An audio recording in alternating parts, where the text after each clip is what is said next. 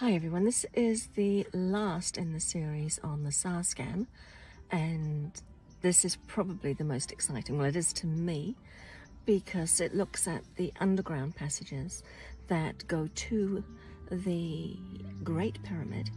This latest scan, this SAR scan, that has been done by a group of scientists outside of Egypt, uh, this is the paper that they wrote on it, tells us an interesting story.